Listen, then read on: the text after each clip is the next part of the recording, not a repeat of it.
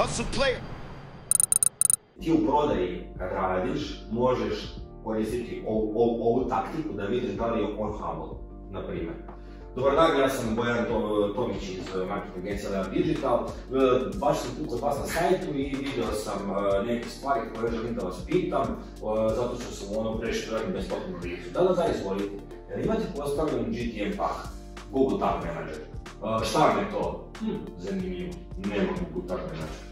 To pričaš tako i pišeš, a on stoji i ti čutiš posle toga. Već on da čuti i vidi ko što pojavio se lik, ja ga pitam i on je kao, i to kaže, hm, zanimljivo, nema tako način. I čutiš, pustiš ga ništa će reći. On će na to reći, pa čekaj, to sam problem što ja to nemam, sad ne razumijem. Ne, ne, ne, sve okej, sve okej. Recite imate pixel.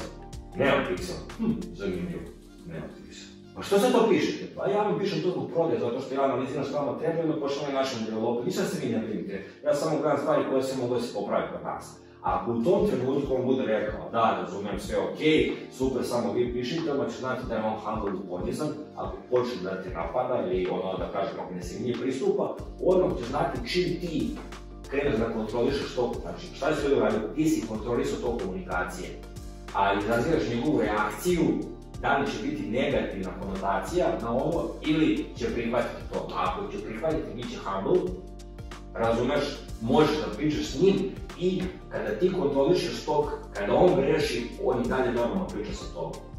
I ti ćeš znati odmah da li on klijent što ti možeš da radiš ili ne. Znači, to je bukvalno jedan sitnica u prodaji koji ti možeš ono da testiraš kada kontrolišeš tog razgovora, moći ćeš da vidiš kako klijent reaguje. Na primjer, kako ste pogodili kampanje? O, pa mi smo došli, pustili smo 200 eura u kampanje sa Instagrama, čekaj čekaj samo pustili ste reklame sa Instagrama preko Boost posta ili preko Facebook Ads Managera?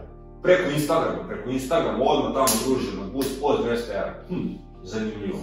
Pušta po kampanju preko Instagrama. Molim, ne razumijem. Čeo sad to nešto problem?